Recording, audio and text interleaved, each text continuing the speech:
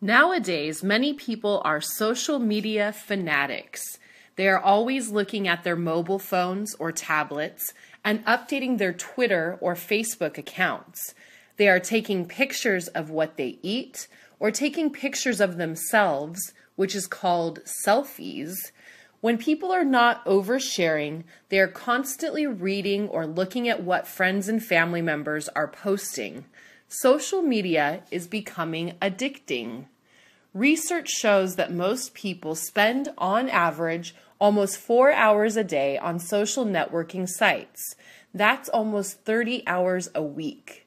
While some people need and use social media for work or to stay in touch with friends, other people find that using social media so much causes anxiety and stress. People also tend to use social media as a way to procrastinate. So, just as many religions ask people to abstain or not to have certain foods or drinks for a certain time, many people are taking social media fasts. They are not updating their statuses, and they are also not reading what other people are posting. They choose to stay away from social media for 30 days.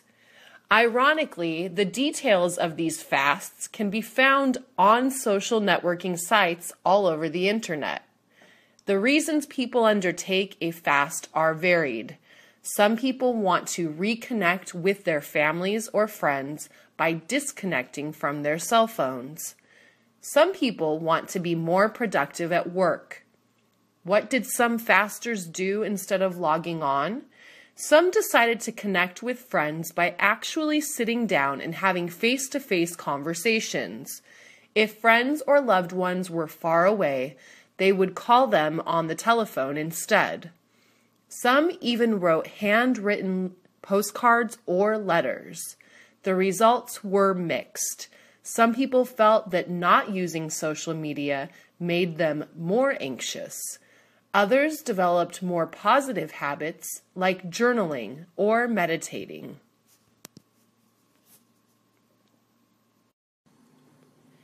The hockey team Los Angeles Kings won the 2014 Stanley Cup and had a parade last Monday in Los Angeles to celebrate the victory. During the parade, fans from all over California came out to support and celebrate with their favorite hockey team. According to the Los Angeles Police Department, over 200 uniformed officers were sent to the parade to make sure everything went okay. Although the parade went by without a problem, the LAPD's public information officer said that there was an increase in alcohol related arrests than when the Kings won the Stanley Cup in 2012. According to Christopher Harris, who attended the parade with his family, a lot of people who attended the parade had gone to the bars surrounding the Staples Center and had gotten drunk before attending the parade. I saw one person throw up on the street in front of a policeman. They put him in the back of the police car, Harris said.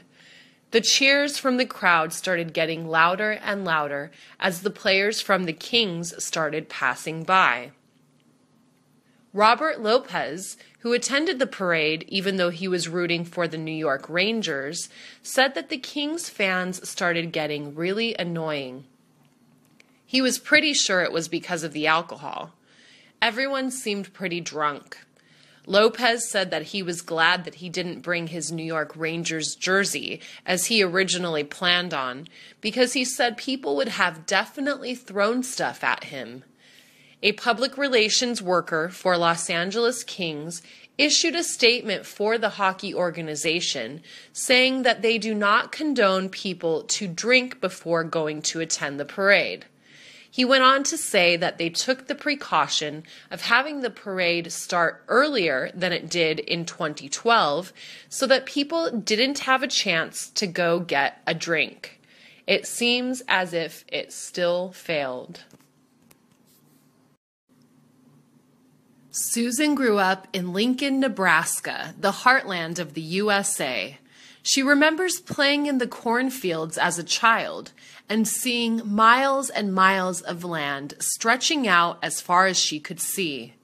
One day, her aunt took her to see the 1997 movie Titanic, starring Leonardo DiCaprio and Kate Winslet. She marveled at the sight of the vast ocean. It was something she had never seen before. She remembers turning to her aunt to say, I'm going on a ship like that one day, Auntie. True to her words, Susan left Nebraska and moved to Los Angeles, California. She wanted to live near the ocean and was delighted to discover the Queen Mary was permanently docked in Long Beach. The grand ship, which has the same size of the Titanic, is now a museum and tourist attraction. She didn't hesitate to book a tour of the ship.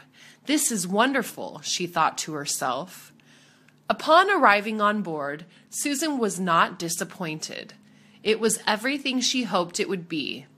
The ship was restored to its original state, which was very luxurious. The tour she took highlighted the ship's history and importance over the years.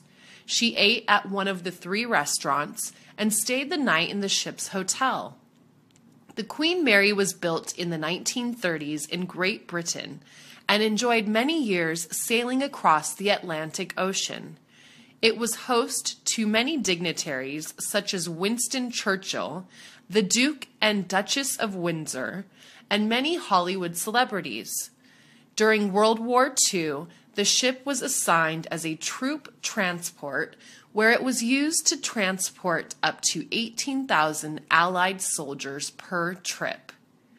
After the war, it was restored to its original state and began its transatlantic travels. In 1967, the city of Long Beach purchased the aging ocean liner, and it has been a popular attraction for the city ever since. It is living history, said Susan after her visit.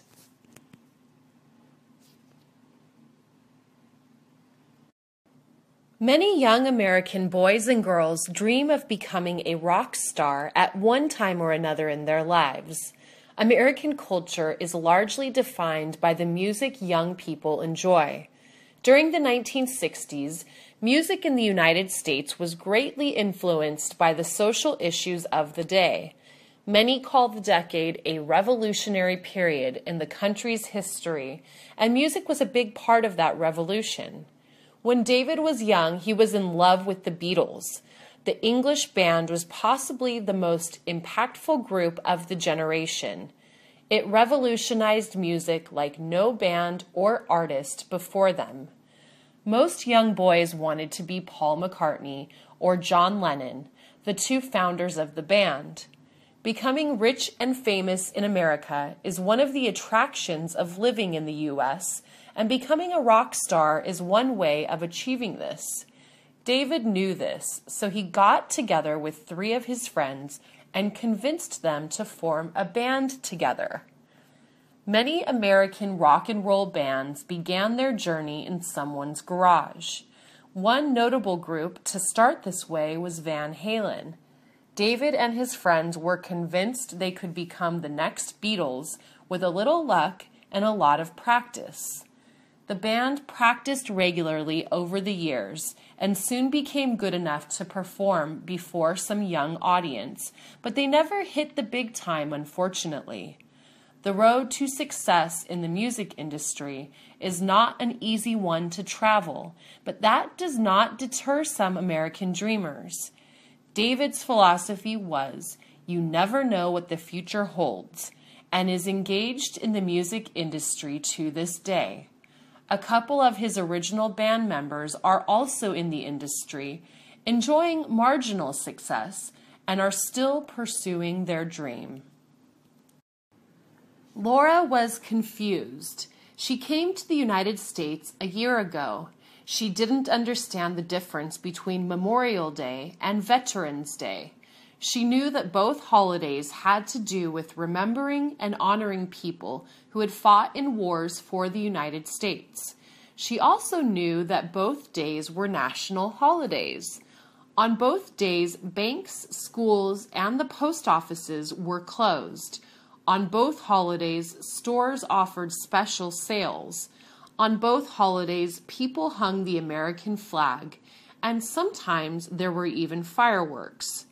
Laura had seen on television that on both days the President of the United States made a speech and visited a cemetery, laying a wreath on the grave of a soldier. Laura decided to ask the mailman Brian what the difference was. She figured he would know since he had both days off from work. The next day, when Brian was dropping off Laura's mail, she asked him. Brian explained that Memorial Day is usually observed on the last Monday of May.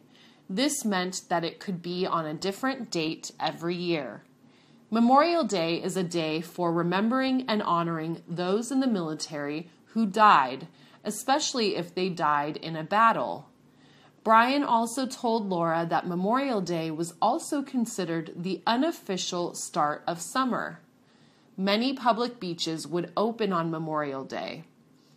Veterans Day is a day set aside to thank and honor all people who served in the United States military. Brian explained that Veterans Day is also to remember those that are still alive. Brian told Laura that the date for Veterans Day never changes. It is always held on November 11, which was the date when World War I ended in 1918.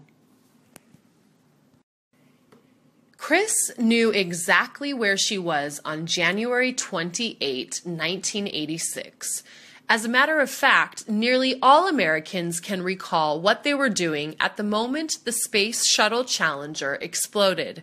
It is one of the most tragic moments in the history of the country, and it is one that will not be forgotten. Chris was working as a clerk at a clothing manufacturing plant in Commerce, California, which is about three miles from downtown Los Angeles. On that morning, she was filing some documents when one of her coworkers came through the door into a large work area that contained about 20 employees. The shuttle just blew up, he shouted. Most employees were taken aback. They had no idea what he was talking about. Once again, he blurted out, The space shuttle just blew up in Florida. Chris knew at that time something went very wrong. The Space Shuttle program began in the early 80s and continued to this day. The fleet consists of various shuttles that are designed to go into space, establish an orbit, and do a variety of tasks. It was heralded as a new era in space exploration. In the past, space exploration vehicles were used once and then discarded. The shuttle program revolutionized the way space travel was done. Chris couldn't believe her ears. Soon, almost all employees huddled around the lunchroom TV set, watching in horror the events taking place. It was a sad day for the United States, but it was also the beginning of a new era in space travel. The country rebounded from this disaster and restarted its program after a couple of years. There have been other accidents in the program, and most notably the Columbia, which disintegrated upon re entry in February 2003. But the U.S. will not be deterred. Space travel is dangerous, but the spirit of the American people will not be contained. There was a march through the Boyle Heights neighborhood of Los Angeles. The march was sponsored by a coalition of local organizations and agencies. The purpose of the march was to bring awareness to the violence in the community. Many people have been killed because of gun violence and other crimes. The march began at 9 a.m. on a busy corner. Many parents brought their children to the march the crowd began to walk down the neighborhood sidewalks. Occasionally, the crowd would stop, and an organizer using a bullhorn would tell the story of a person who was killed. After the organizer told the story, there would be a prayer followed by a moment of silence. There were relatives of people who had been killed participating in the march. Some of these relatives would leave lit candles, balloons, or flowers in remembrance of the persons who died. One woman who died was found in the lake of Hollenbeck Park.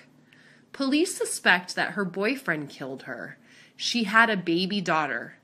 Her ex husband participated in the march and asked that organizers include her in their prayers. The march continued for 20 blocks and ended at Wabash Park. While the march was somber, the mood inside the park was more celebratory. Different organizations had booths with information about local programs. There was a craft table for kids to draw a picture about the kind of neighborhood they wanted to live in. Different bands played between speakers, offering solutions to the neighborhood's problems. On the same day, there was another march at a nearby housing project. In the spring, four houses were firebombed. Police suspect the attacks were racially motivated. Organizers plan to hold the march again next year. They really hoped, though, that conditions in the neighborhood would improve so they wouldn't have to march. David's cell phone started vibrating in the middle of the night. He woke up right away and nervously reached to his nightstand. He always set his cell phone to vibrate and charged it next to his bed when he went to sleep. David looked at the time on his cell phone. It was two in the morning. The only time someone contacted him at that hour was when there was an emergency. He read the message on his cell phone. It was an emergency. The text message said that a little boy had been kidnapped near where David lived. The boy had been taken into an orange Honda Civic. The text message also gave the license plate number of the car. There was also a picture of the little boy and a written description of what the boy was wearing when he was kidnapped. The boy's name was Adam. David didn't feel like he could do anything at two o'clock in the morning. He went back to sleep. In the morning, however, he woke up thinking about the message and about the boy. David had never heard about an Amber Alert before. He decided to look it up on his computer.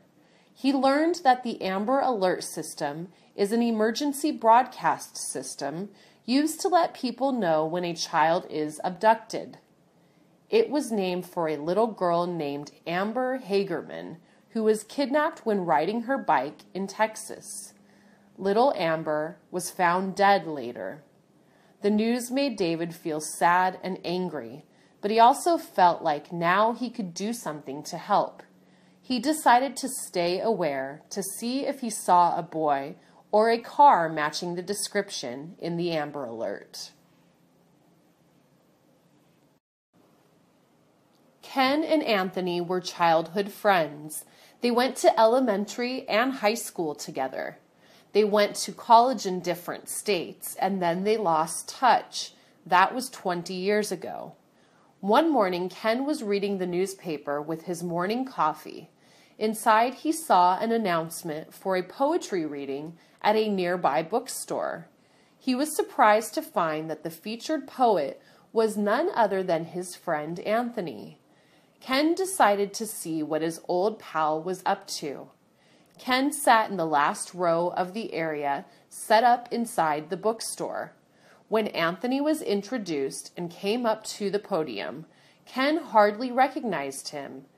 Anthony was almost completely bald and had a little pot belly. When Anthony was in high school, he was very handsome. What Anthony had lost in looks was made up for in talent. Anthony's poetry was quite good. Anthony recognized Ken sitting in the back row. When the reading was over, Ken stood in line with the others, waiting for Anthony to sign a copy of his book. When it was Ken's turn, Anthony stood up and hugged his long lost friend. Anthony invited Ken to stay until he had finished signing books.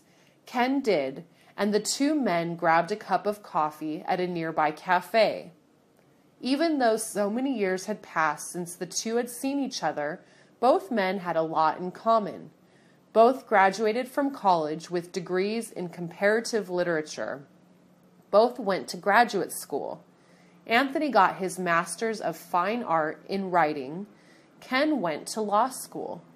Both men married Mexican women. Both men divorced. Both men also had sons that were only a year apart. Ken and Anthony decided not to lose touch again. They planned to meet once a month for breakfast on Saturdays. A great American tradition dating back to the birth of the country is the board game night.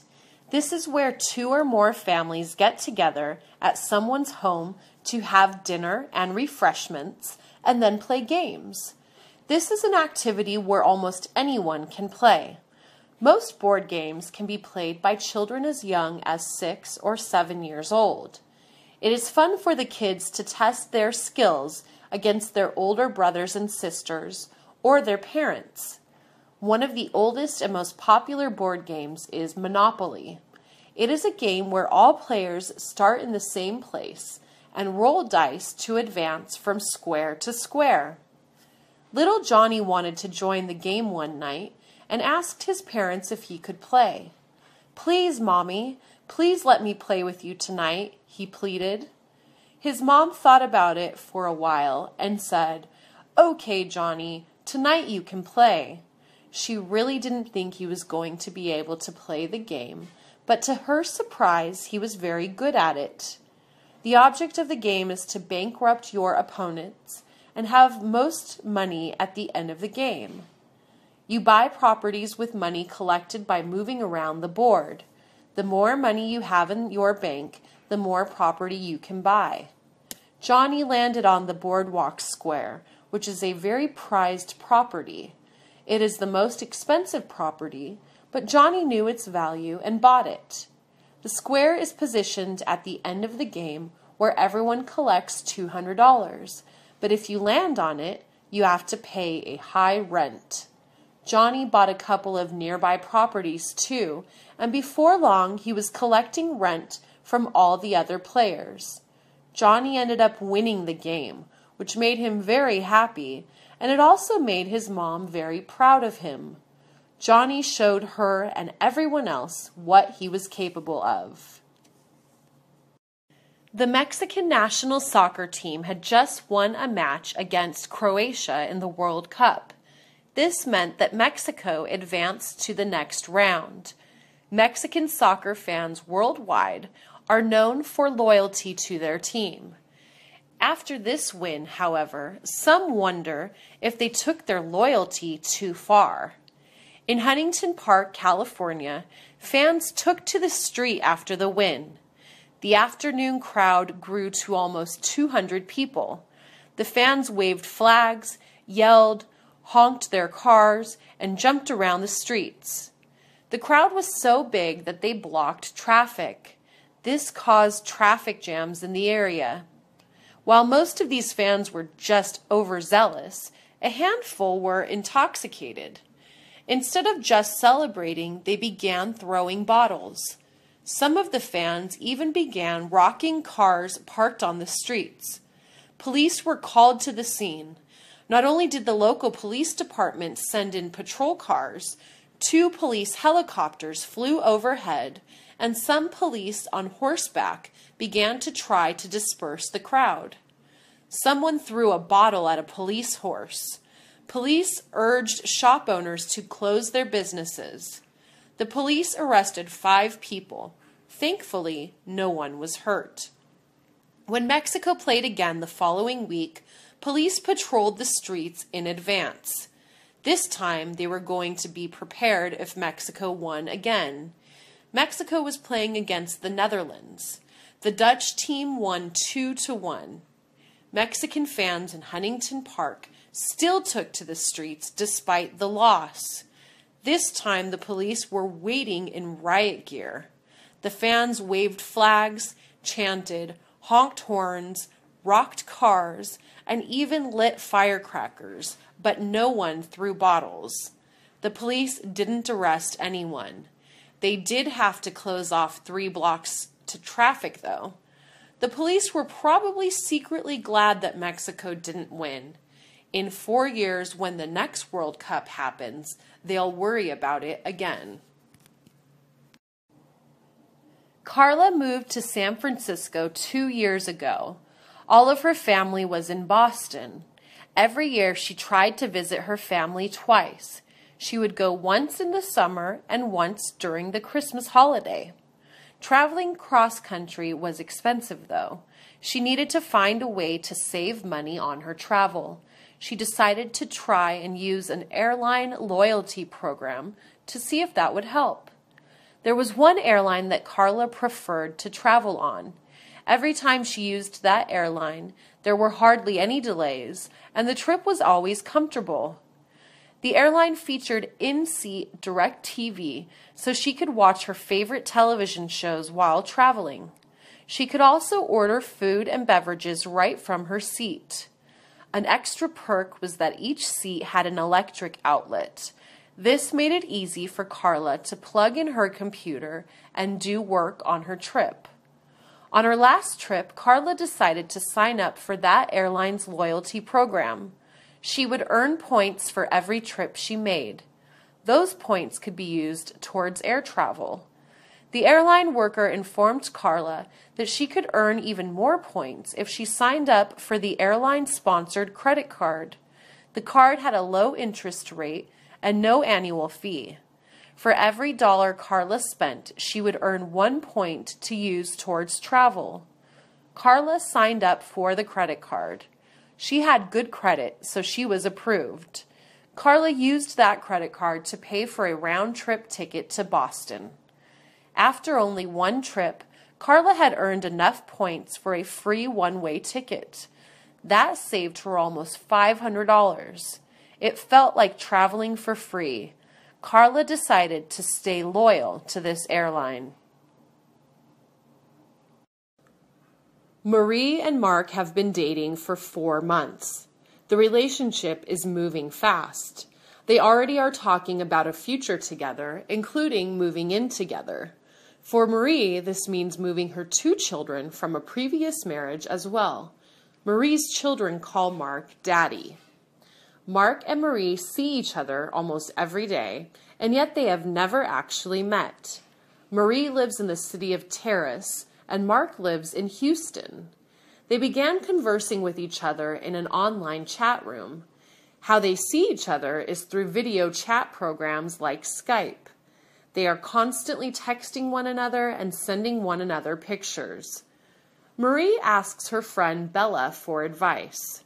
Bella met her husband, Dan, on Twitter four years ago and moved from New York City to Los Angeles to be with him. It was different from Marie and Mark's situation, though. Bella and Dan had friends in common, even though they lived on opposite coasts of the United States. Bella also traveled to Los Angeles a number of times to decide if she really liked Dan and if she could live in another city. Dan and Bella traveled back and forth for over a year before deciding to move in with one another and make a life together. Bella, like Marie, has two children from a previous marriage. Bella's kids do not call Dan Daddy, though. Bella warns Marie not to get in too deep. She tells Marie that Mark needs to come and visit Los Angeles. Marie can also go to Houston. Bella feels that you really cannot be in a relationship with someone you only know through the computer. There have even been cases of people being tricked and not being who they say they are. Marie is infatuated, though. She and Mark have started talking about the kind of house they will buy together in Houston. It was the first week of June.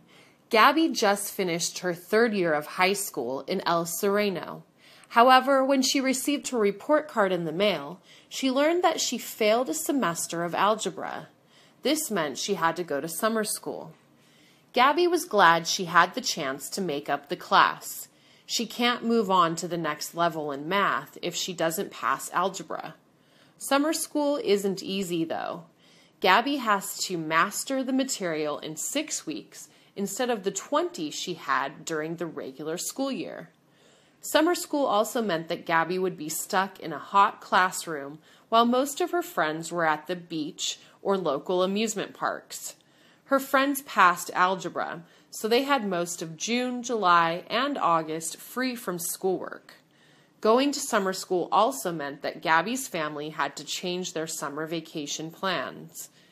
Gabby had to be in summer school from 9 a.m. to noon. She couldn't stay up late on weeknights or sleep in. She had to be on the bus at least an hour before class started, or else she would be late. The classrooms were hot since the school building was old and did not have air conditioning. When Gabby came home from school, she couldn't do whatever she wanted. After Gabby took the bus home from school, she had homework to do. This was the first time Gabby had to go to summer school. She wanted it to be the last time. Gabby made a promise to herself. In the fall, when regular classes begin again, she will try her hardest to pass. Sweating in a classroom while your friends are out having a good time is not fun. Summer break is not so much of a break when you have school. Francesca picked up her seven year old son from school one afternoon. Isaac proudly showed his mother what he had made at school that day.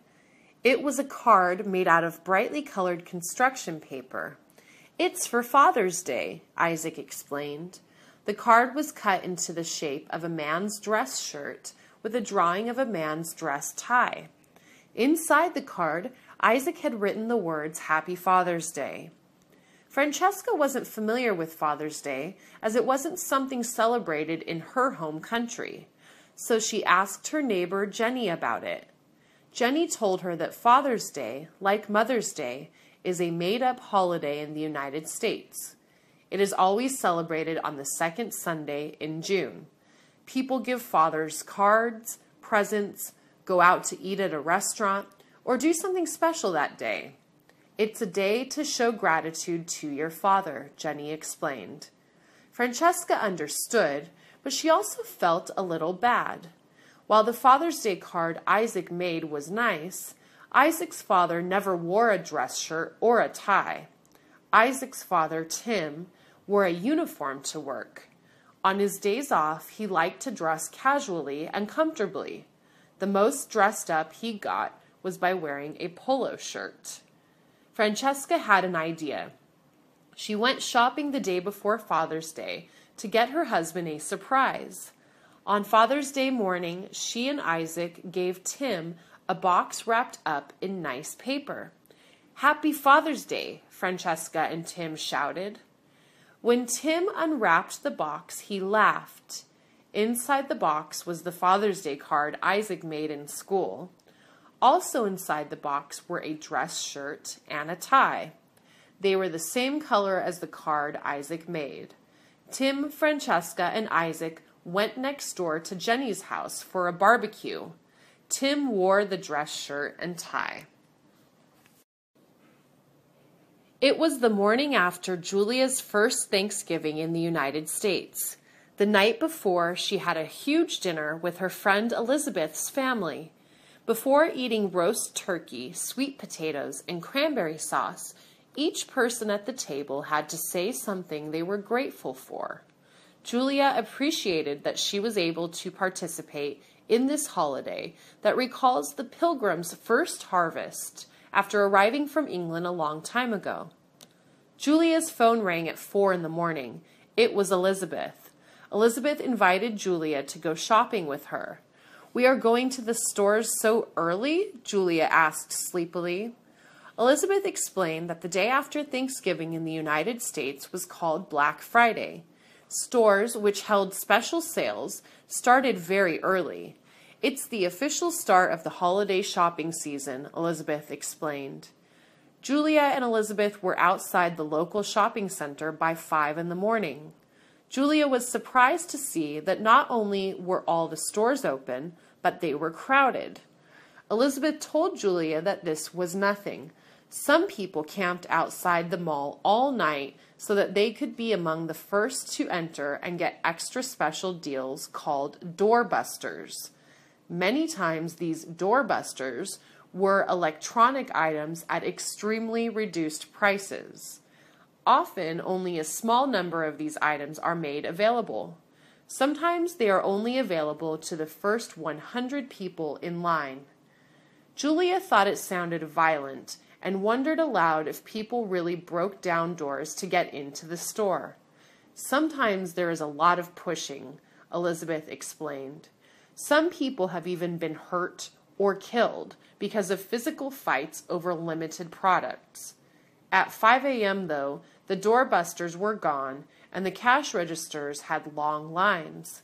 Many shoppers had full shopping carts of presents they intended to give away for Christmas, Hanukkah, or Kwanzaa.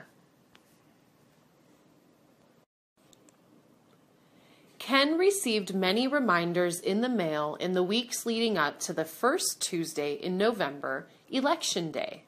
From before the time he became a United States citizen, he looked forward to being able to choose who would represent him in the various levels of government.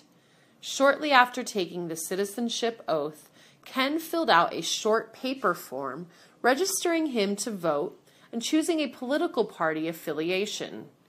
Ken appreciated that choosing a specific political party didn't limit whom he could vote for, though.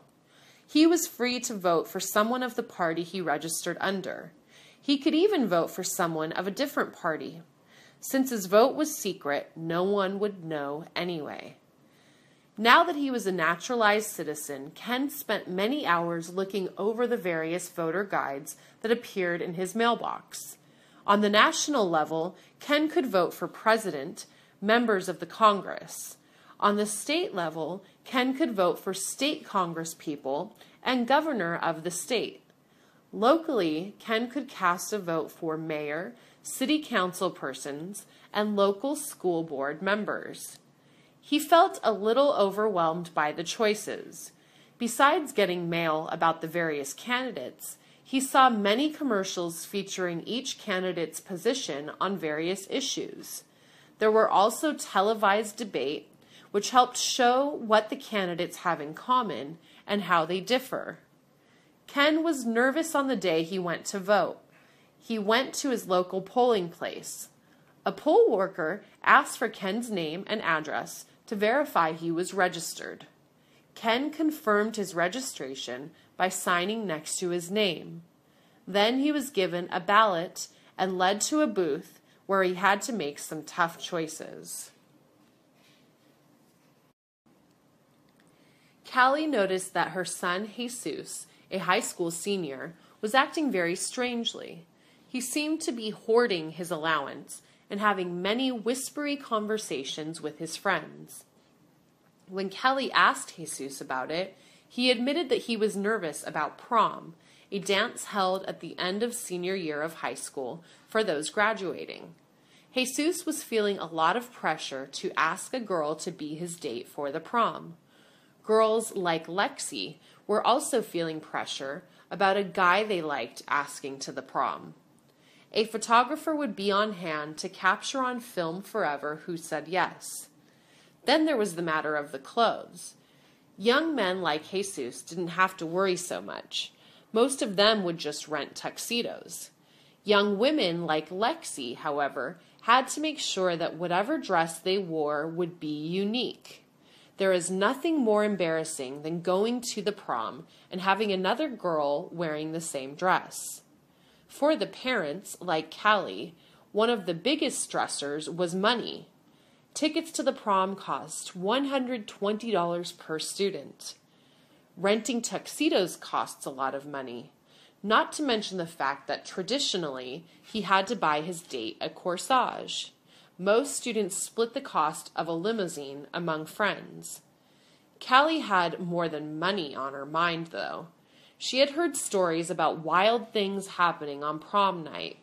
She worried about Jesus drinking alcohol, even though he was underage. Callie encouraged her son not to worry so much about finding a date. Maybe he could go to prom with a group of friends.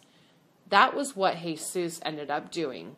It was fine until it was time to be photographed. All of Jesus's friends split up into couples. Jesus posed alone. Merrill was a little embarrassed to admit it. She was 37 years old and didn't know how to drive. When she lived in Queens, it wasn't such a big deal. Everything that she needed was close by. The supermarket was one block away. She would take her shopping cart and get what she needed for the week easily.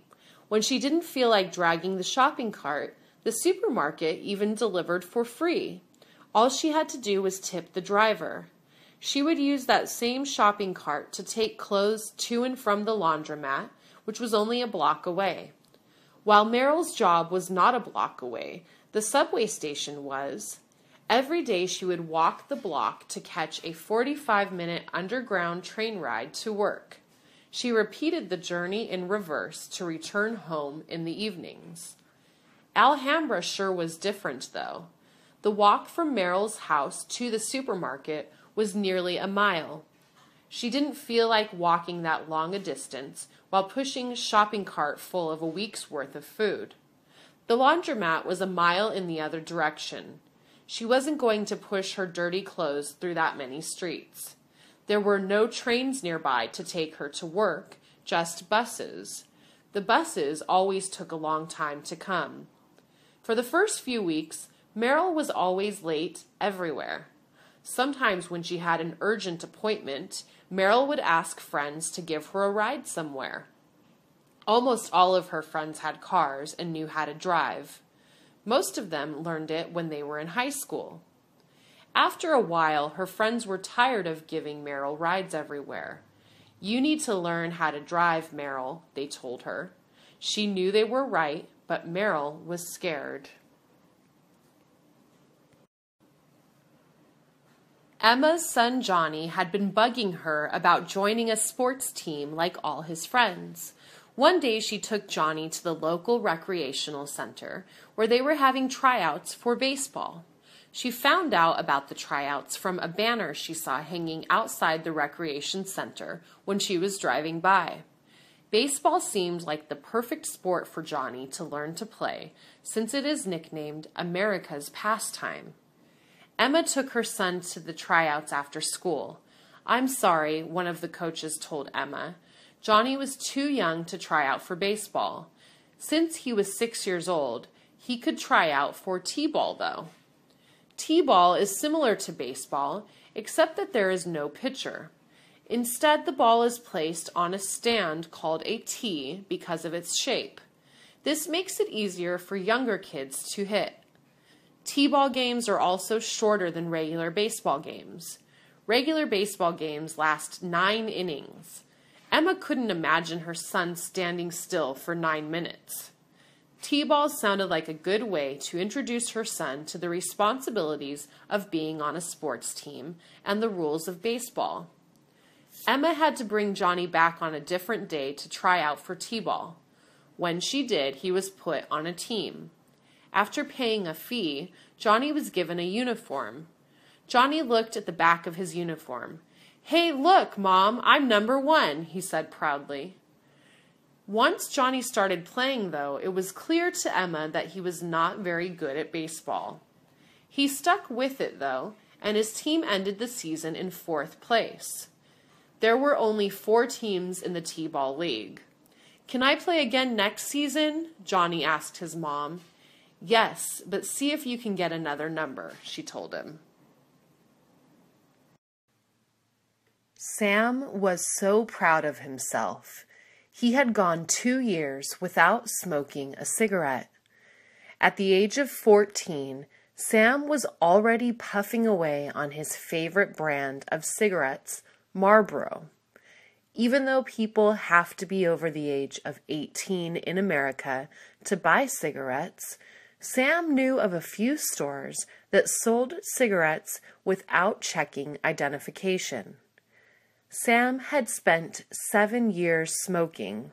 He was 21 when he decided to quit. Sam decided to quit after discovering he had been coughing blood. He would get tired quickly, and he noticed his teeth were getting really yellow. Whenever Sam would hang out with his friends that smoked, he would always want a cigarette really badly, but was always strong and said no when they offered him one.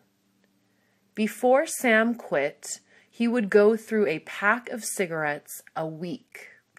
The pack of cigarettes usually cost him $5.25.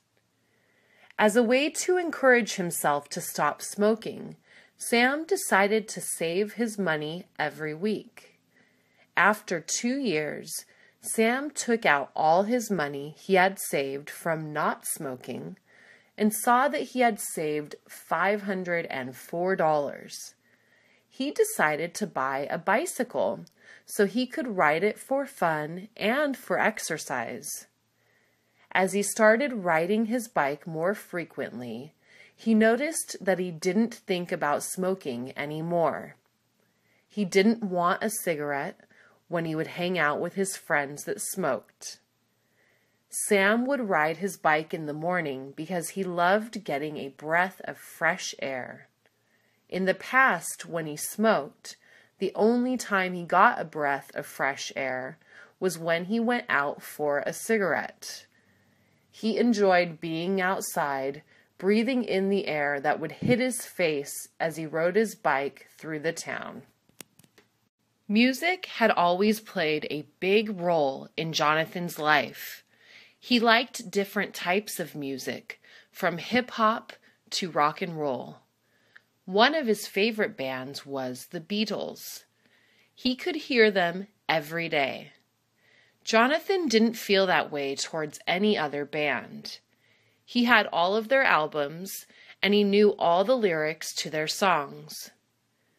One day, Jonathan and his girlfriend Sarah went for a ride in Jonathan's car. Sarah was excited to show Jonathan a new band she had heard about. Sarah brought the CD and played it for Jonathan as they drove around town.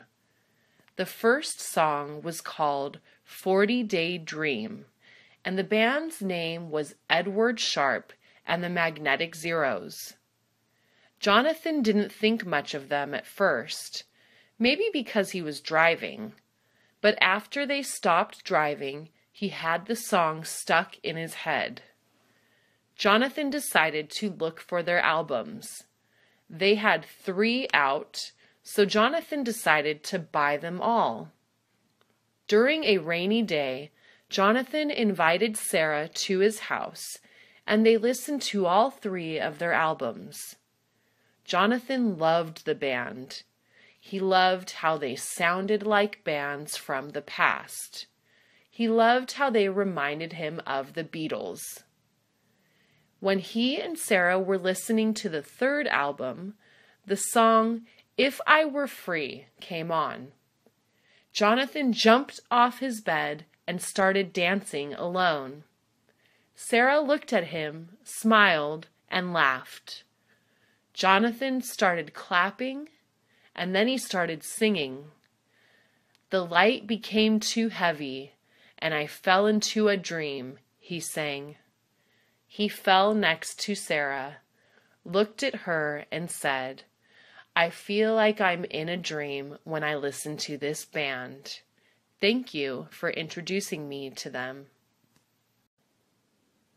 The night was calm in Los Angeles, although the wind was particularly chilly. Frank had gotten out of work in downtown Los Angeles around 11 p.m. He got his sweater, put his headphones on to listen to music, and put his backpack on. Frank liked taking his backpack to work because he could take a change of clothes to work so that he didn't have to wear his uniform after he got out. In order to get to his house, Frank had to take a bus and a train, but he didn't mind because he could listen to music. After getting off the train, Frank got something to eat at a little restaurant that stayed open late and served hamburgers. After eating, Frank still had to walk for 30 minutes. While Frank was walking through a small street with a lot of homes, he noticed there was a car behind him following him slowly. He looked back and noticed it was a police car. He didn't mind because he wasn't doing anything illegal, so he kept walking. As Frank was about to get home, the police car turned on the lights and drove directly to where Frank was at. They stopped and got out of the car. The two police officers surrounded Frank. Frank was used to this and put his hands in the air. The police officers told him to put his hands on the hood, which he did. As Frank was being searched, he asked the police officers why he was being searched. They ignored him and asked him questions. Do you have anything illegal on you? Have you been arrested before? Do you have a weapon? Frank answered no to all of their questions. They put Frank in the back of the police car. Frank asked again why he was being searched. One officer said, Because you are walking around the neighborhood with a hooded sweatshirt. Frank had done nothing wrong, so the police let him go after searching his backpack. Jacqueline and her family were sleeping in their home. Their dog Scruffy was asleep next to Jacqueline. It was 4:36 a.m. and the night was quiet. There were no cars passing in the street. No noise could be heard. It was like everything was still. Jacqueline always put a cup with water next to her bed so that if she got thirsty during the night, she didn't have to walk all the way to the kitchen. That was when it happened. The furniture started shaking, and the cup of water fell to the floor. Scruffy started barking, and it woke up Jacqueline. She looked around and saw that all her stuff was shaking. She started screaming. Soon after, her father came in and told her to come out quick. It was an earthquake. Jacqueline was so scared and couldn't move. Her father went in and picked her up. He took her outside where Jacqueline's mother and brother were at already. Jacqueline and her brother were crying. They didn't understand what was happening. Luckily, Jacqueline's mother had prepared an emergency kit and had it outside. She looked for the key, which was hidden inside a fake rock, and unlocked the box.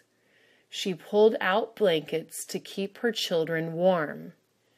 Jacqueline looked at her mother and took the blanket. She then saw her dad take a flashlight from the box. He used the flashlight to see if the house had any damage. The father knew the house was not safe, so they stayed up until someone could examine the house.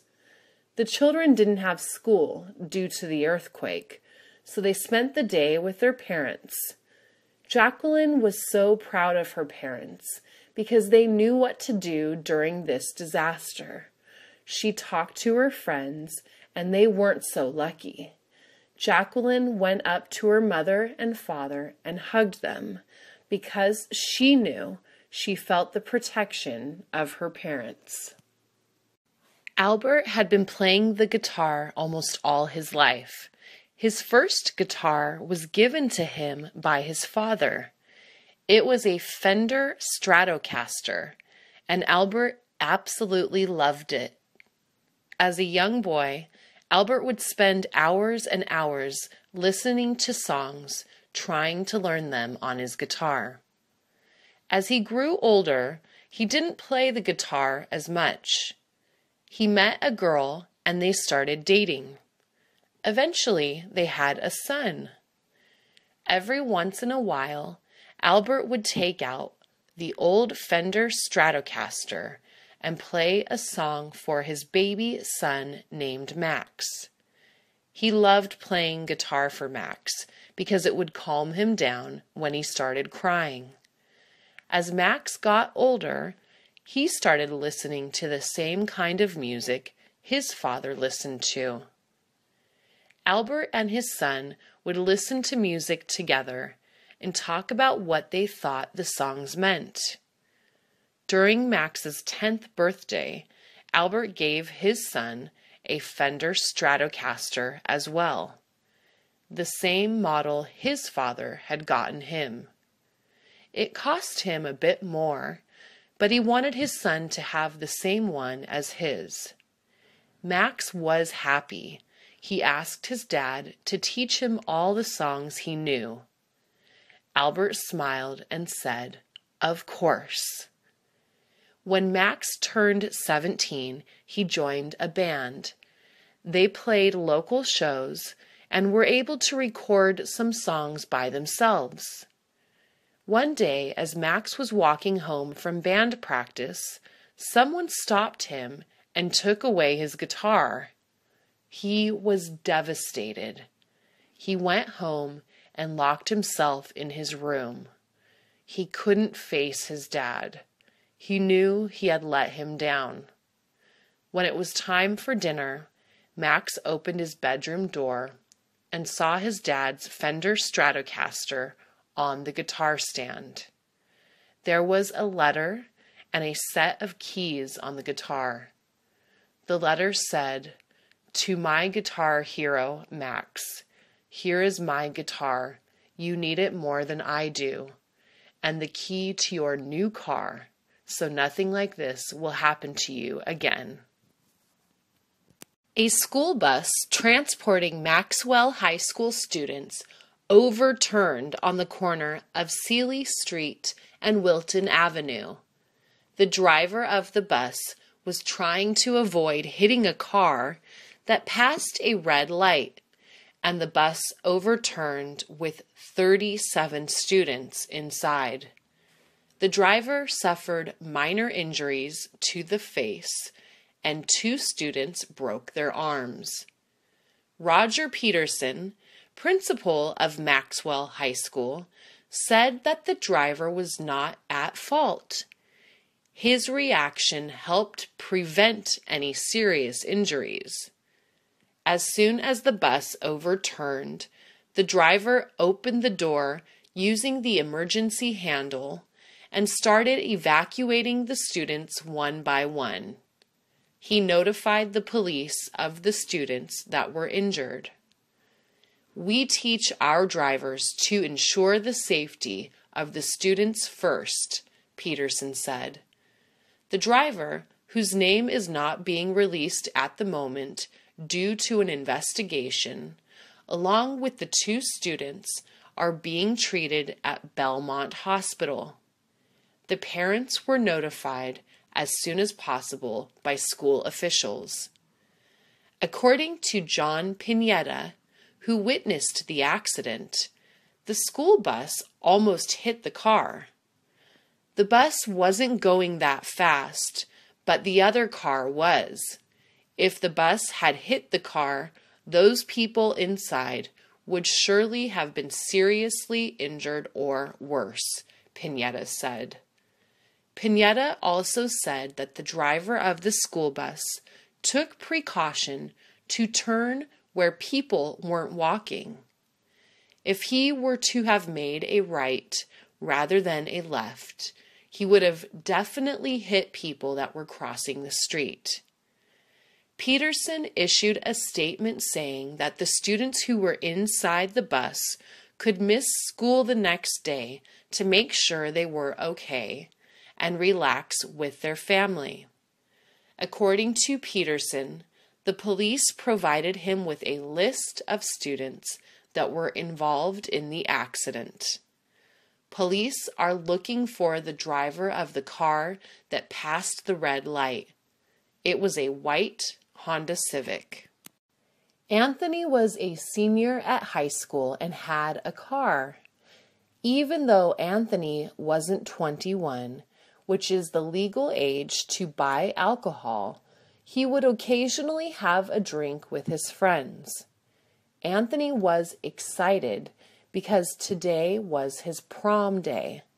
He had his tuxedo on and had a flower for his date. He got into his car and went to pick up his friend Jacob and then to pick up Jennifer, his date. When they showed up to the prom, Jacob's date and Jennifer went to the restroom. Jacob took out a small bottle of whiskey from his jacket pocket and told Anthony to take a drink. Anthony took some and didn't like it, but he still drank. As Anthony and Jennifer danced, he began to feel dizzy. He was drunk. Anthony, are you okay? Jennifer asked. Anthony looked at her and laughed. She figured out that he was drunk and decided to leave with Jacob's date. Anthony got mad and decided to leave. He got in his car and left. As he was driving down Mental Avenue, he saw a police car following him. He got nervous and started chewing gum. Anthony was looking at the police car through his mirror so much that he almost took a red light. When the police saw this, he stopped Anthony. The police gave him a few tests to see if he had been drinking, and Anthony failed them. The police took him away. His father picked him up and they went to talk to a lawyer. The lawyer said that Anthony would have to take alcohol education classes, go to Alcoholics Anonymous, do community service, and pay a fine. Anthony's father said that Anthony would have to get a job as well to pay for the fine. Anthony decided never to drink after that. He said that it wasn't worth it. Claudette's dad didn't let her have a boyfriend. He told her that 12 year olds aren't supposed to have boyfriends. Claudette always wanted a boyfriend, but didn't want to get her dad mad. She would always go to the library after school to study and wait for her dad to pick her up. One day, a boy named Stephen decided to go up to Claudette and say hi. Hello, my name is Stephen. I've seen you here before, he said. Oh, hello. My name is Claudette. I always come here to study and wait for my dad. I live a bit far, she said. Stephen asked Claudette if he could sit with her so he didn't have to study alone. Claudette said yes. They started studying and started talking. Soon they weren't studying at all. They began talking about music, books, movies, and what they liked to do for fun.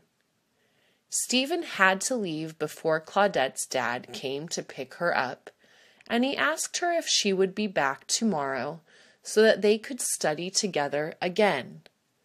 Claudette said yes. The next day, Stephen showed up and saw Claudette. He sat down, and she smiled at him and said hello they began talking about their classes and what they were learning at school. After they talked for an hour, Claudette told him she had to go look for a book and if he could go with her.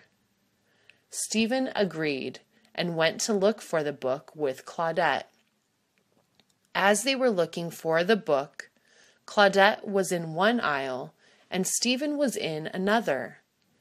Claudette took out a book and saw Stephen was looking at her. She smiled, and he told her she was beautiful. She was happy he said that because she really liked him. Claudette asked him if he wanted to be her boyfriend. Stephen said yes. As they were hugging, Claudette's dad came in and saw them. He split them up and took Claudette by the hand. He told Stephen that he wouldn't be able to see her again. Stephen was sad. My big brother James has always been a good baseball player. He is six years older than me, but he always invites me to go play catch with him. It's one of my favorite things to do. We live next to a park.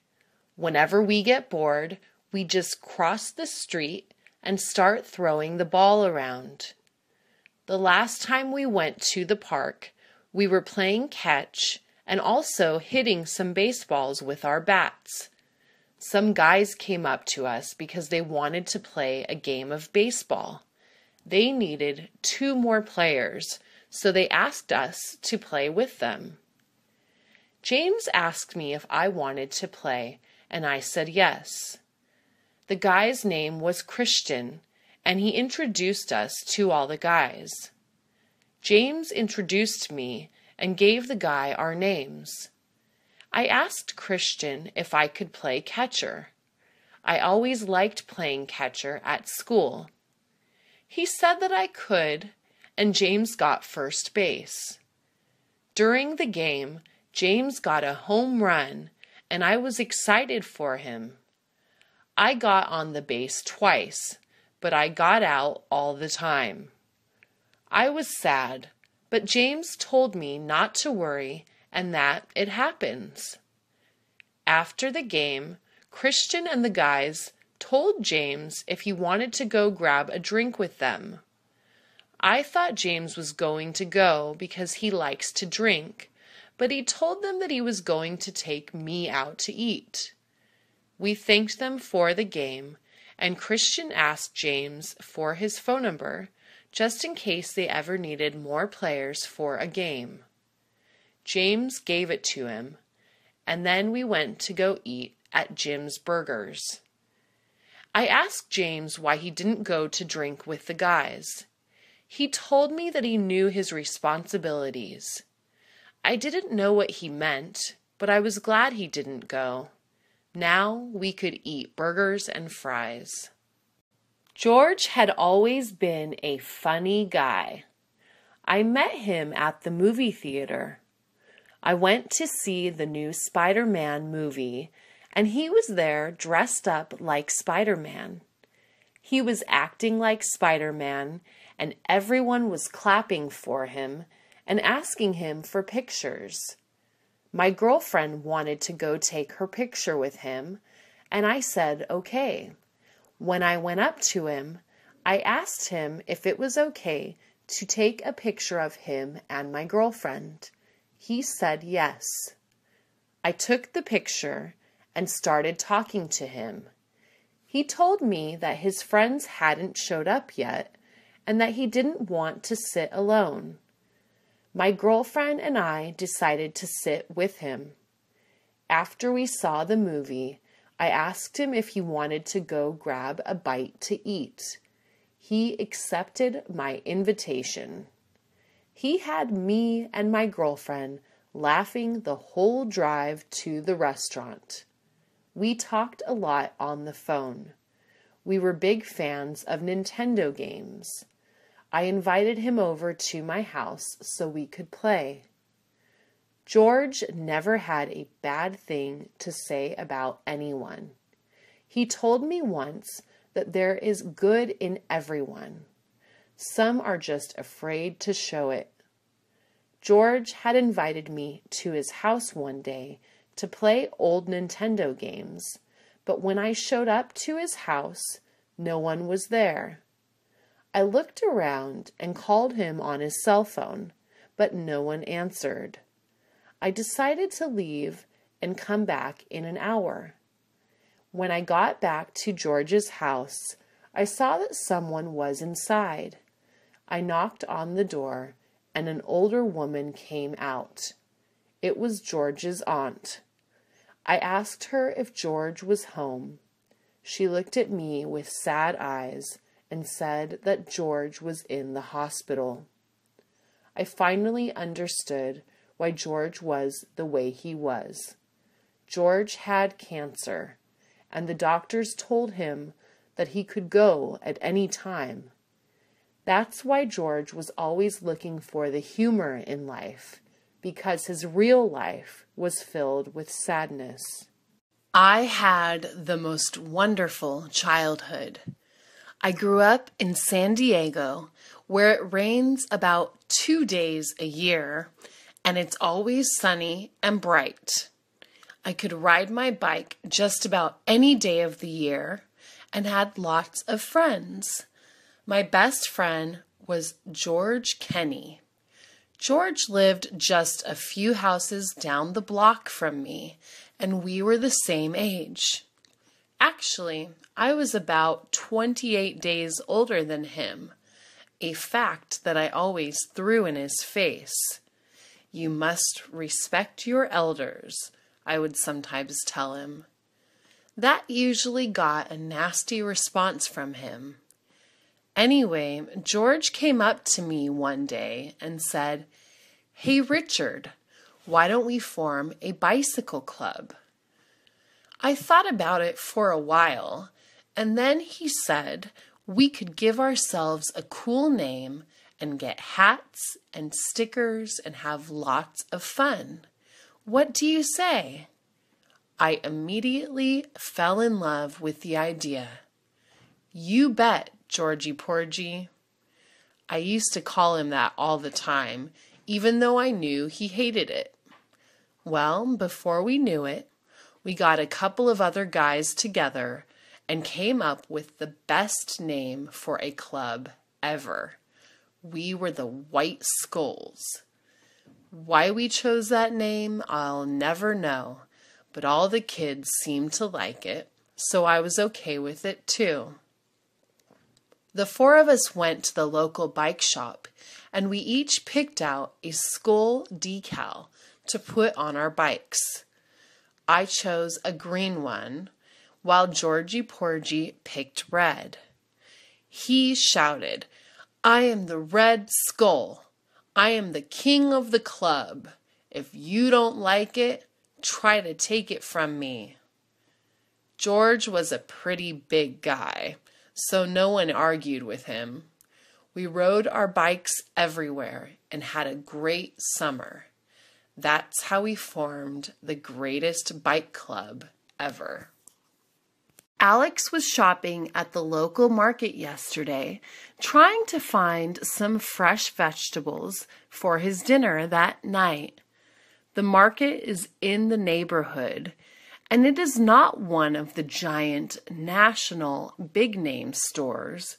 It is a small store with only a few locations around Los Angeles.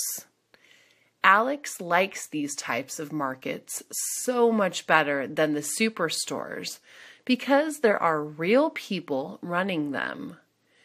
Alex knows the guy that runs the fruits and vegetables section at the market. His name is Diego, who was born in Tijuana, Mexico, about 120 miles from Los Angeles. Diego always lets Alex know what is a good buy at the market. Hola, Diego, Alex said in Spanish. Hey, Alex, how are you? He answered in English. This happens every time Alex talks to Diego. Alex speaks to him in Spanish, and Diego answers in English. Spanish is spoken a lot around LA. The city has the largest population of Mexicans anywhere in the world except Mexico City. Alex likes to show Diego how much Spanish he knows, and Diego also wanted Alex to know how much English he knows. It's so funny to hear a conversation like this. They sometimes get strange looks from people. Today, Diego got some beautiful oranges. They were big and plump and were at the right price, too. These are great, Alex. You will like them very much, said Diego. Alex responded with, Muy bueno, Diego, which means very good, Diego.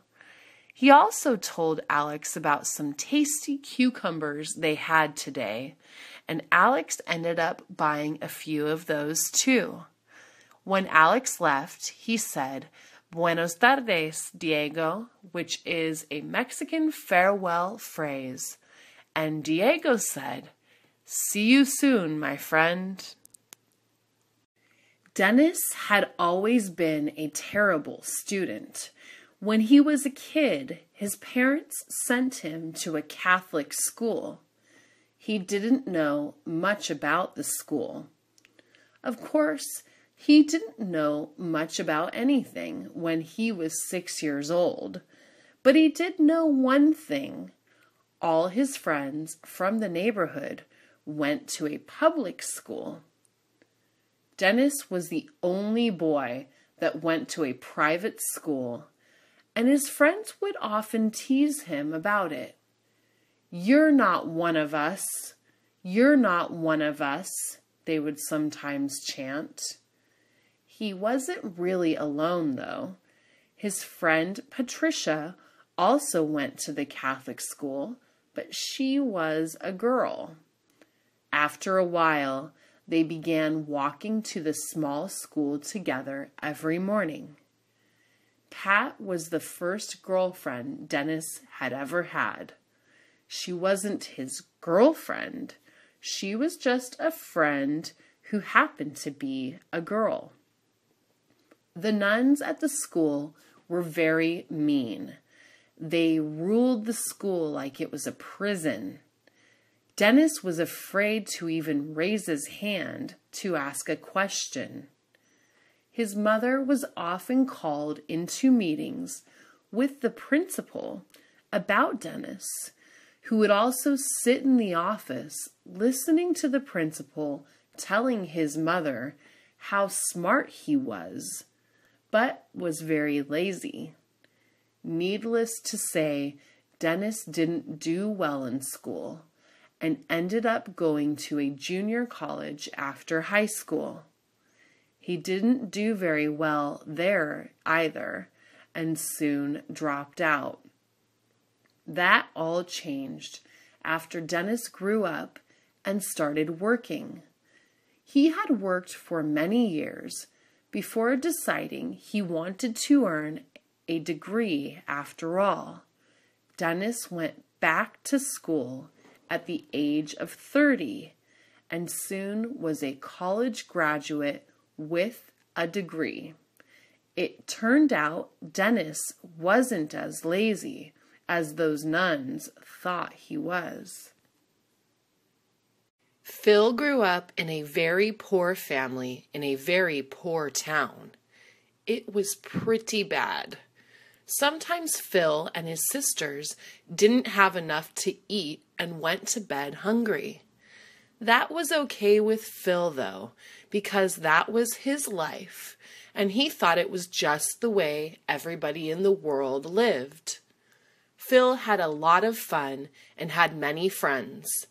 It wasn't until Phil was about 12 years old that he began to realize that there were better things out there in the world.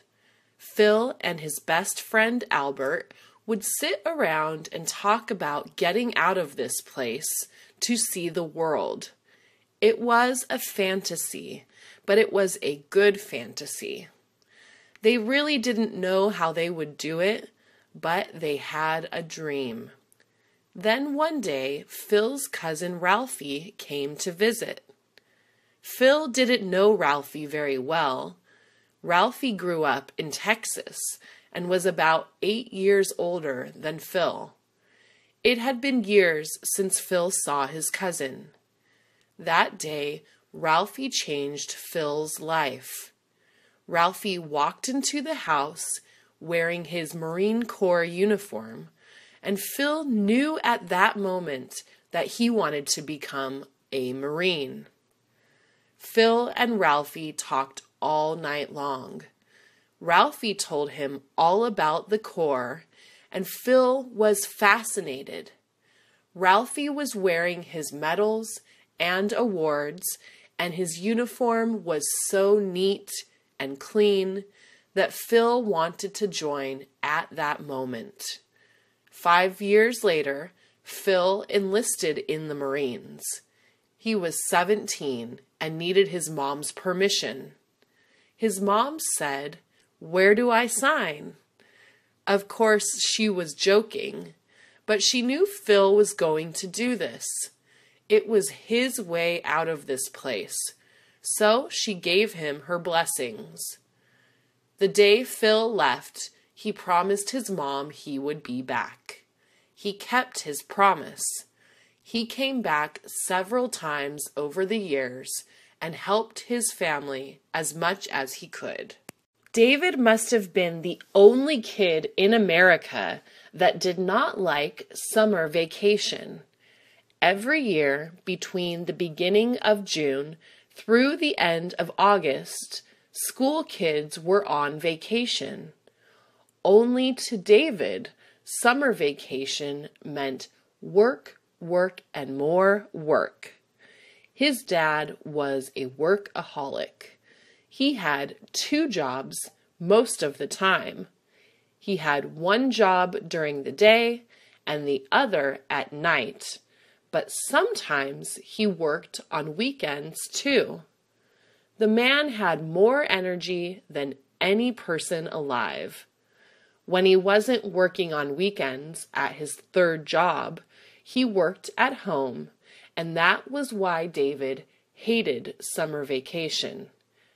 His dad was always building something or tearing something down. If he wasn't tearing down a wall or adding a new room to the house, he was putting in a new driveway or garage. It was living hell for a 13 year old kid. While all of David's friends were off playing baseball or riding their bicycles, he was usually hauling bricks or mixing cement. That's what he remembers about his childhood. David always knew he was in trouble whenever he heard, Where's David? His dad's voice seemed to carry down the street. That phrase could only mean it was time to get to work. Of course, David learned throughout the years how to make himself disappear at just the right times, but his dad usually found him anyway. But, Dad, I want to go to the park to play with my friends, David would say. You can waste time with your buddies some other time. It's time to get to work now, his dad would respond.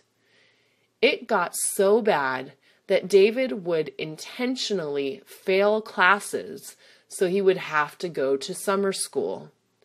Summer school was for students who didn't do well during the regular school year, but he didn't care.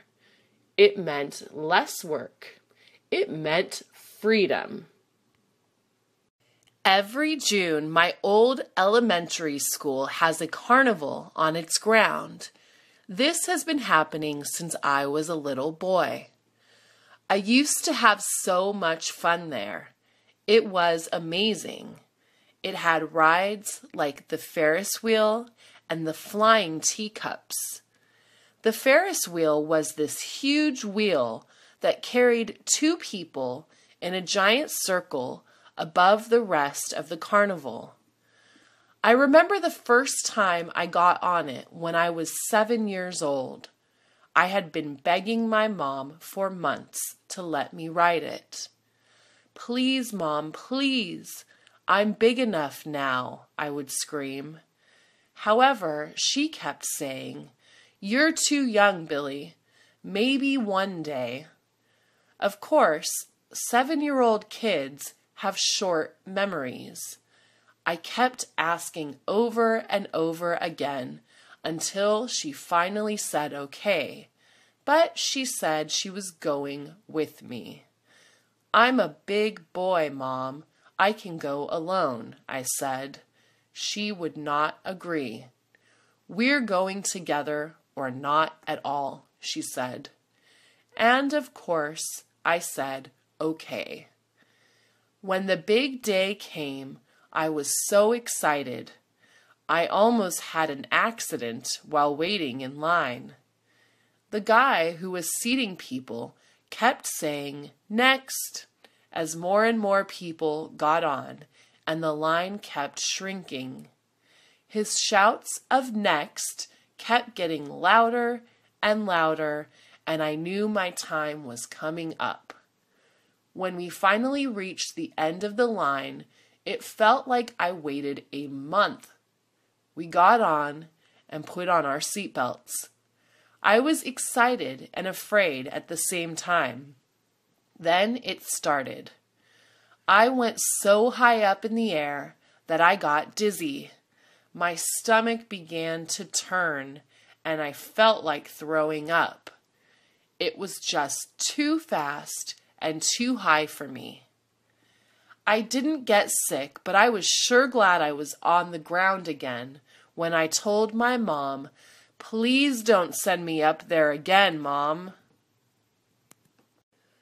Going to an all boy high school was no fun. Joe's parents thought it would be a good idea to send him there instead of a public school because he would get distracted by girls, as his mom would say. Once during his third year, Joe begged his mom to let him go to public school. I just want to be normal, he would tell her. I want to meet girls. I don't want to be weird. But his words always fell on deaf ears. Mom always said that Joe had plenty of time to go on dates after high school and that he needed to concentrate on his schoolwork. This usually made him very sad, but like a good kid, Joe just nodded his head and went on with his studies. That all changed one day when Joe met Carmen, who lived just two blocks away from him. One day he ran into her at the market by chance.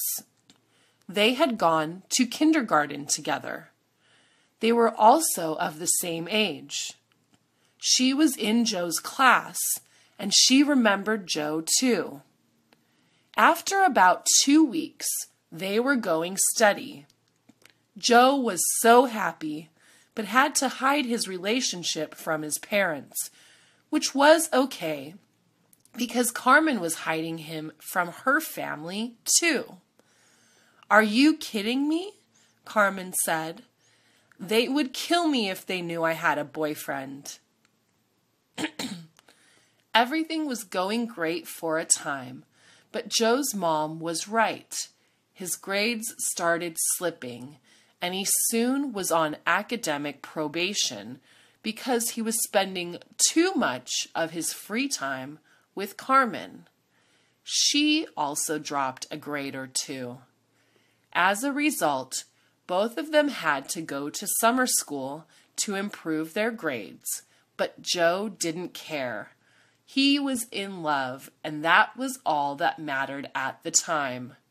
Much later, he came to realize his mom was right. One hot summer day, Jay and his friends were playing outside. The sun shined down on Jay and his friends as they kicked a soccer ball back and forth. Soccer was Jay's favorite sport to play. Almost every day, Jay would invite his friends from his neighborhood to come out and play soccer in the street. Jay dreamed of one day being a professional soccer player.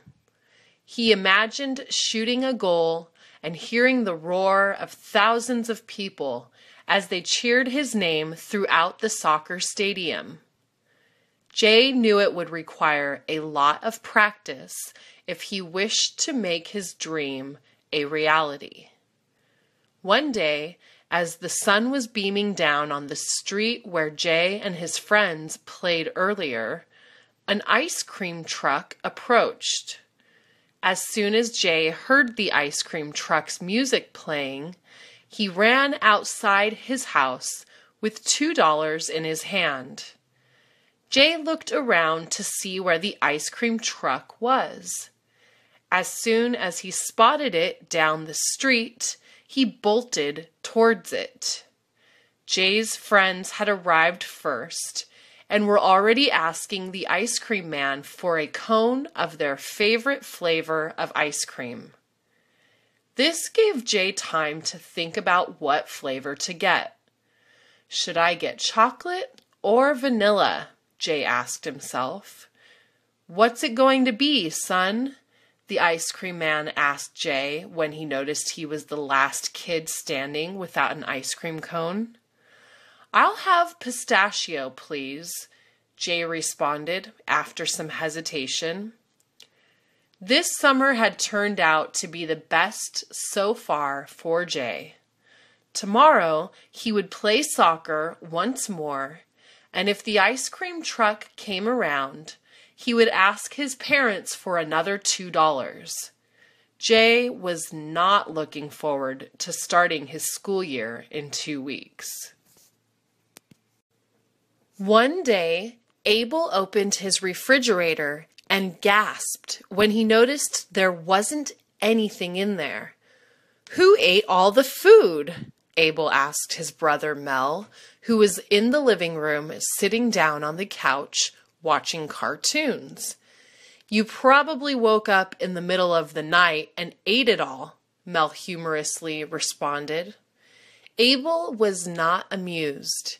His stomach was growling, and he had no time for Mel's childish quips. I'm so hungry, I could eat a horse, Abel proclaimed. I bet you can easily eat two, Mel jokingly said. You are so funny, Abel sarcastically replied. Abel thought of ordering a pepperoni pizza by phone, but soon realized he had only $5. He needed $10 to make the purchase. He was short by $5. Abel asked his brother if he could pitch in for the rest, but he had no cash. Are you even hungry? Abel asked Mel. I already ate, Mel said. This made Abel jealous and a bit angry. What did you eat? Abel inquired with furrowed brows. A $10 pizza, Mel casually replied. You must be kidding, Abel said, almost yelling. Mel just sat there watching a recording of an episode from The Simpsons. When is mom coming back? Abel asked Mel. I don't know, he replied.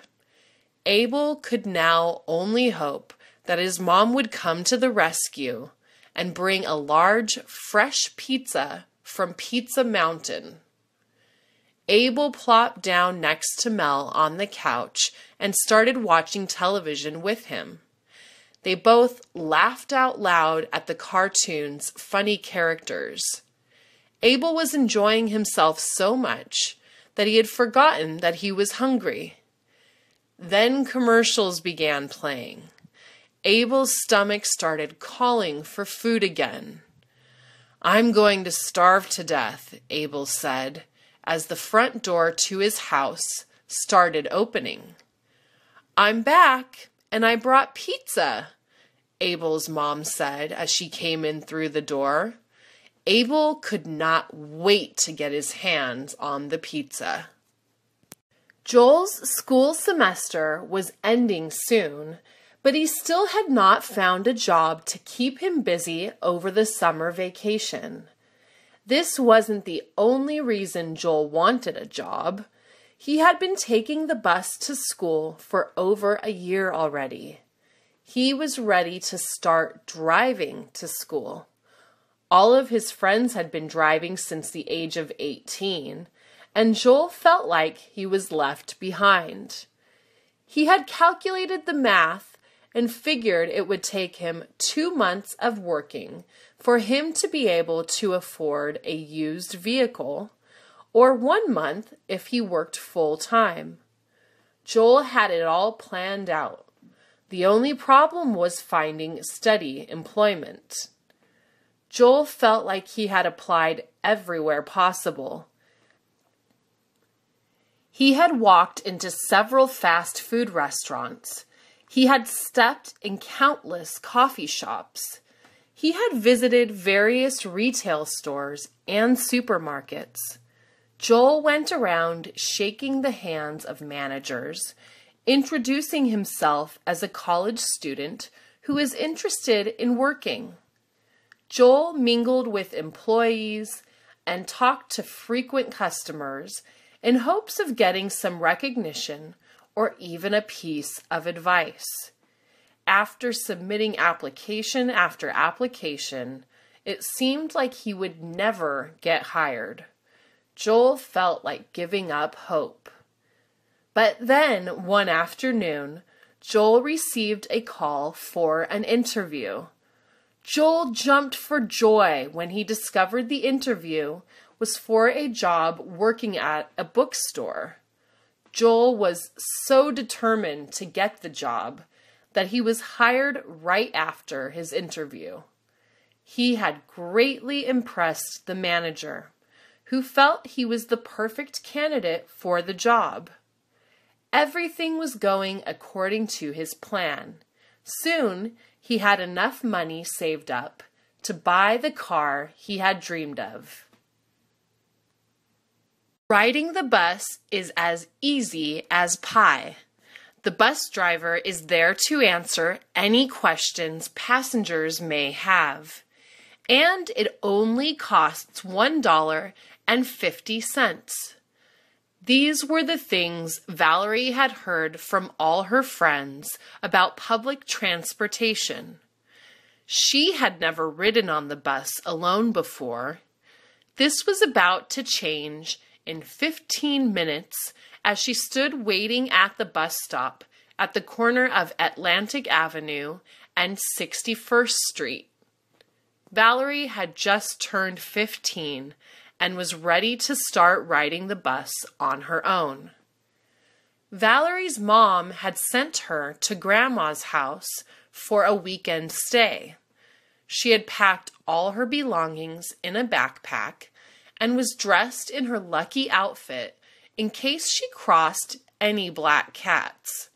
She was heading to the city of Montebello, where her grandmother lived. Her heart began racing when she saw the number 260 bus approaching in the distance. She looked around to see if she was alone, but there wasn't anyone else waiting for the bus. She was all alone.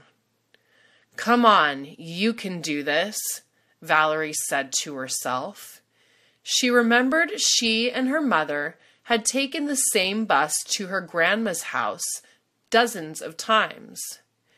It's just like before, except Mom is not here, Valerie said, trying to ease herself.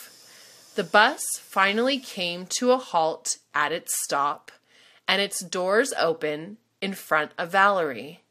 She took a deep breath, looked at the bus driver, and stepped inside. Valerie put the money into the slot and greeted the bus driver. She then proceeded to the back of the bus and quickly sat down next to an elderly woman. The scariest part was over. Now all I have to do is sit and wait until I reach my destination, said Valerie to herself. Don't forget to pull the cord. a familiar voice said in her head. Monday was the day of the big test. Luella had three days left to study. She knew she had to study for at least three hours per day in the next couple of days if she hoped to get the grade she wanted. Luella needed to score at least a 90% on her test in order to pass her algebra class with an A. The stakes were high for Luella. She had attended every lecture this semester. She had jotted down notes upon notes to take home and study. She had even sat in a few tutoring sessions after class. After turning in all her homework and passing all her quizzes, Luella still felt like she could fail her final test. After all, it was cumulative, meaning the test would test her on everything she had learned. Luella knew what she had to do. It was time to buckle down and study like there was no tomorrow. Motivated and determined, Luella sat at her desk and studied for at least three hours for the next three days. By the time the night before the test came, Luella felt confident that she would do well. Luella woke up that Monday morning with a grin on her face. She had dreamed of taking the test. In the dream, she passed her test with an A. It was up to Luella to make her dream come true that Monday morning. Luella was assured she would. She knew all that studying was about to pay off as she walked into her classroom and sat down at her desk. Nothing can go wrong, Luella said to herself. She was right. Luella not only breezed through all the math problems, but was the first person to finish in her class. Luella knew she could do it. It was of no surprise when she discovered the grade she received. It was an A plus. Jenny had always wanted a pet of her own. She wanted something to take care of, someone to be there whenever she came back home, and most of all, an animal to be best friends with. Jenny would constantly ask her dad to buy her a pet, but her dad always refused. Jenny's dad knew having a pet was a big responsibility. He did not think Jenny was ready to own a pet at 10 years old, and that was exactly what he told her when she asked for one. When will I be ready? Jenny asked one day. Wait until you're 12, Jenny's dad replied. This was good news for Jenny. All she had to do now was to be patient. Two years had passed. Jenny had been counting down the days on her calendar. The morning of her 12th birthday, Jenny jumped on her dad's bed and immediately reminded him of what he had said two years ago. Have you decided on what pet to get? Jenny's dad asked. Jenny could not respond. She had not made up her mind on what kind of pet she wanted. Let me think about it, she said, and ran to her room. Jenny took into consideration all the pets she could imagine. She imagined a white, fluffy cat that she'd name Tabby, or a large, bright golden retriever that she'd name Yellow and play frisbee with in the afternoons. She imagined owning colorful macaw that she'd name Polly and have conversations with whenever she felt lonely. After an hour of weighing in the options, Jenny had made up her mind. Jenny's dad was surprised when he found out what pet his daughter had chosen. I want a horse, she declared when she walked back into her dad's bedroom. How about something a little less expensive? he said to Jenny. A pony? she cleverly replied. Let's go to the pet shop, Jenny's dad said. It was four o'clock when Jenny and her dad arrived at the pet shop on Slauson Avenue. The name of the pet shop was Pet Wonders. Jenny couldn't contain her excitement and yipped as she and her dad exited the car. Jenny's dad smiled at the sight of her thrilled daughter. He remembered his own first pet. It was a chihuahua named Taco. He wondered if Pet Wonders was selling any chihuahuas. Jenny and her dad were greeted by a short and balding man who smelled like dog food. Hello, how can I help you guys today? the man said. We're here to buy a pony, Jenny exclaimed to the man. Actually, we're here to browse, Jenny's dad said right after. Let me know when you're ready to make a purchase, the man replied. Jenny and her dad proceeded to look through the aisles. What do you think of these? Jenny asked her dad. They're too small, she said. Jenny saw a variety of colorful fishes. What about these, Jenny? her dad asked. They're too slimy, said Jenny. Jenny came across snakes and turtles. Would you like one of these? asked her dad. I don't think so, Jenny responded. One hour passed, and Jenny still had not made up her mind on which animal to choose.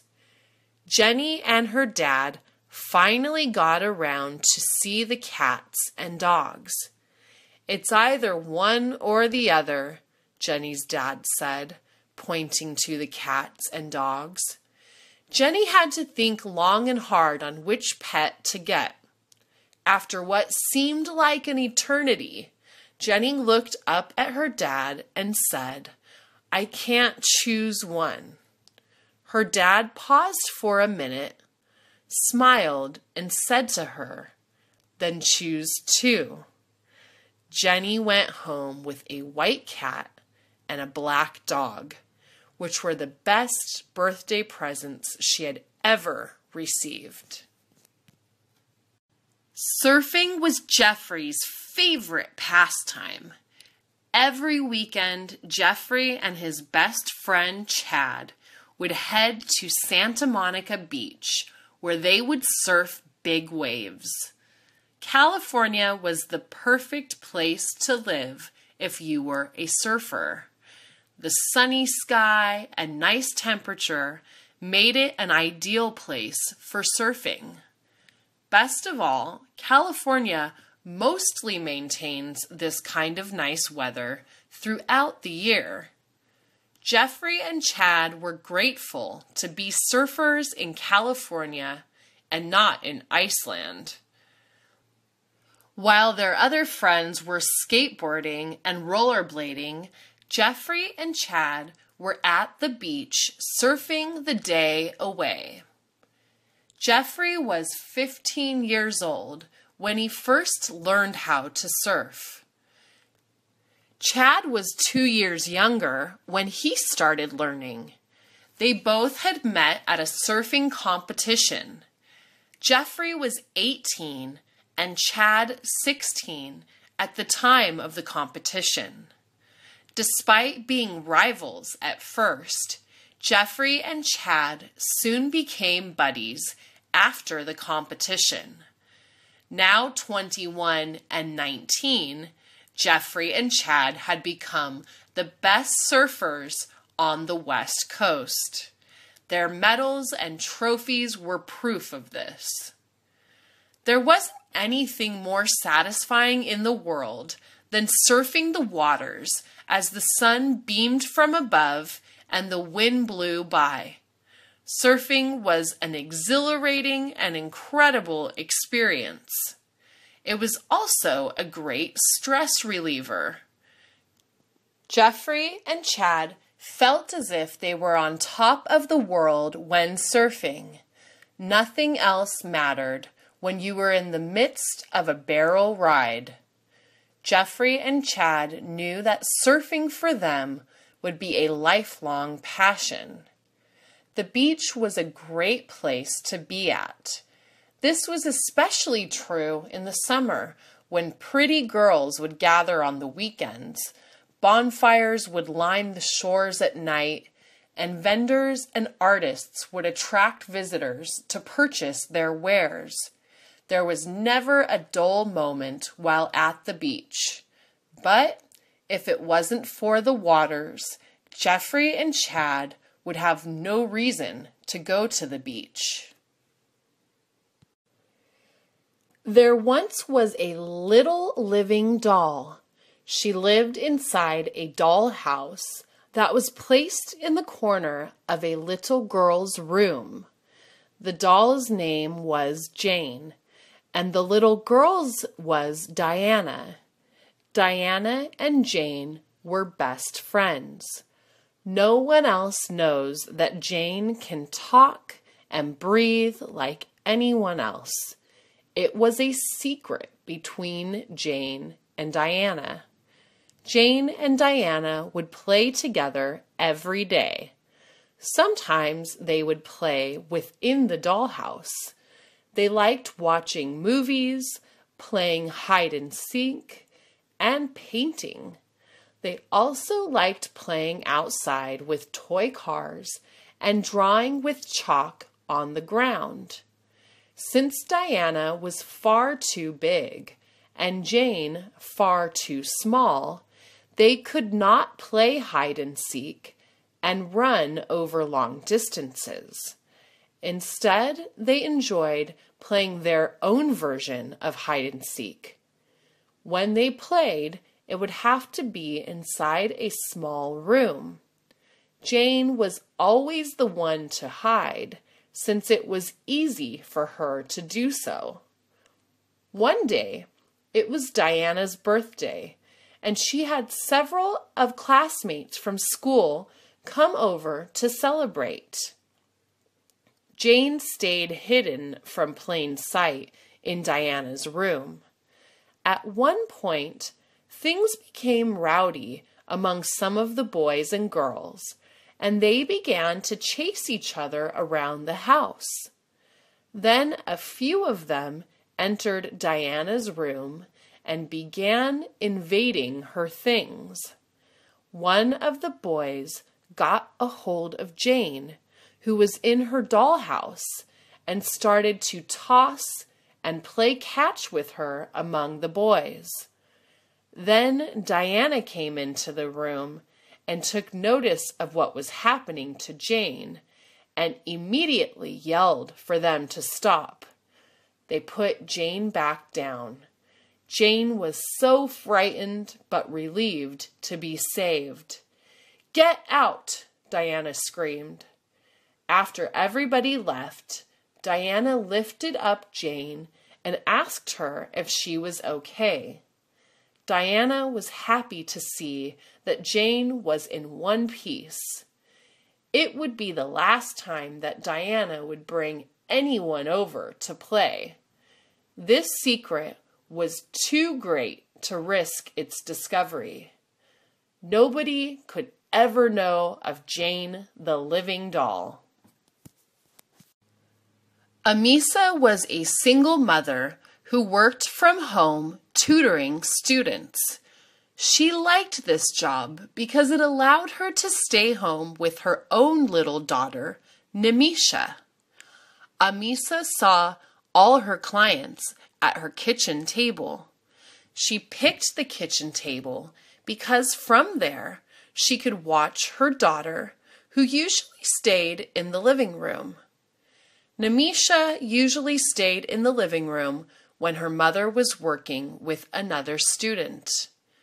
One afternoon, though, Namisha felt so thirsty she had to get into the kitchen to get a drink.